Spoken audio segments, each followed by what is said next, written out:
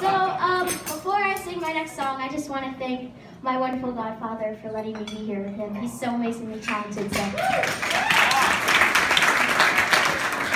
so this next song I'm going to sing, you might recognize. It's "Bring Him Home" from Les Mis, and um, there's a reason I chose to sing it.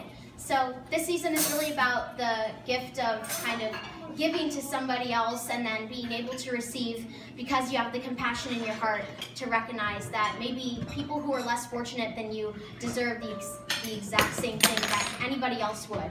So I'm going to sing this as a metaphor of bringing somebody's soul to yours and having a heart-to-heart moment.